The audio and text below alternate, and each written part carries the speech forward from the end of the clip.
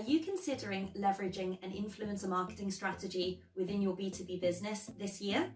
I'll share with you why that might be such a good idea for your business.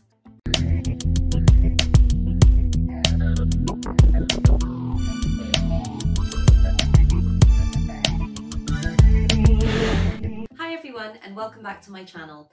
My name's Eva and I've been Customer Success Director at Onalytica for the past two years and I've helped some of the largest B2B enterprise brands build hugely successful influencer marketing programs. They've driven 30 times brand awareness and engagement and up to five times demand gen by leveraging an influencer marketing program.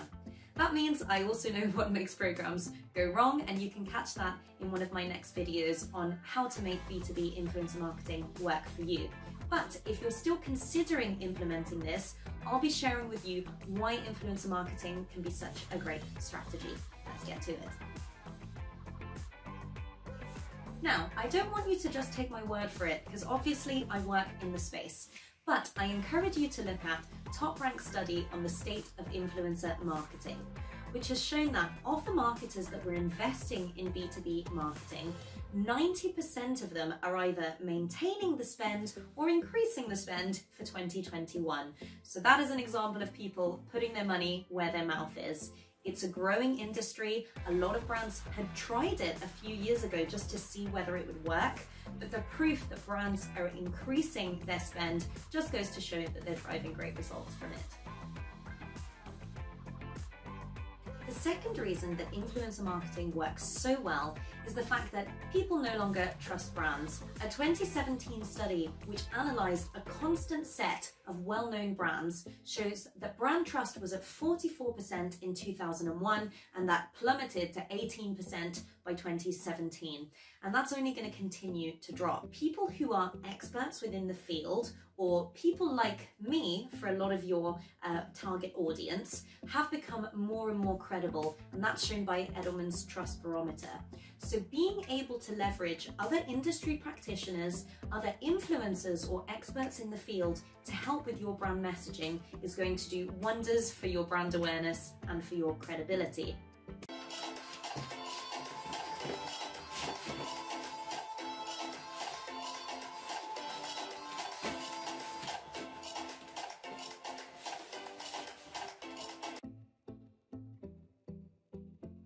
It also will help you to change your content because unfortunately, your content can be really boring. um, and that's just feedback from a lot of customers. Now, when they look at just another set of branded content, which is talking about just us and what we do, they're not interested, they've stopped paying attention, they've stopped listening. How an influencer can help with that is the fact that they already have credibility within their field and they're talking about thought leadership. So if you want to create better content that's talking about thought leadership, bring in an influencer to the work that you're doing.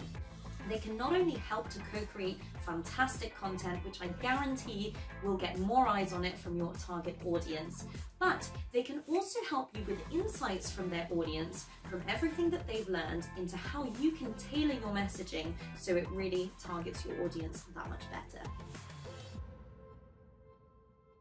Reason number four. It's quite simple really.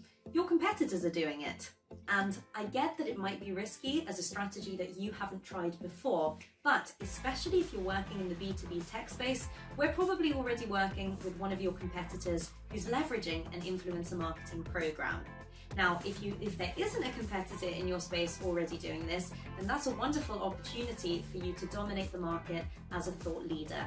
So make sure you keep up and start working with influencers. Influencer marketing is a brand building activity. So in addition to supporting you to drive much better results for a lot of your campaigns, it also makes your brand seem that much more credible. We've seen businesses who have built advocates over a long period of time, we've seen those advocates step in when there's a major PR crisis with the brand. So you want to make sure that you're building a community of advocates, but that you're also associating your brand with thought leaders and thought leadership themes. Your customers are not waiting around for your next campaign in order to make their buying decision. They'll know when they need to make that decision. So making sure that you're always staying front of mind by creating regular content with influencers who are going to influence that target audience will mean that you're the first person they think of when it comes to making that decision. If that's piqued your interest and you'd like to find out more about how you can run an effective B2B influencer marketing strategy, then don't forget to subscribe and hit the bell and also catch my next video on the seven secrets to running an effective strategy. I hope you enjoyed this and I'd love to see your thoughts in the comments down below. Thanks for watching.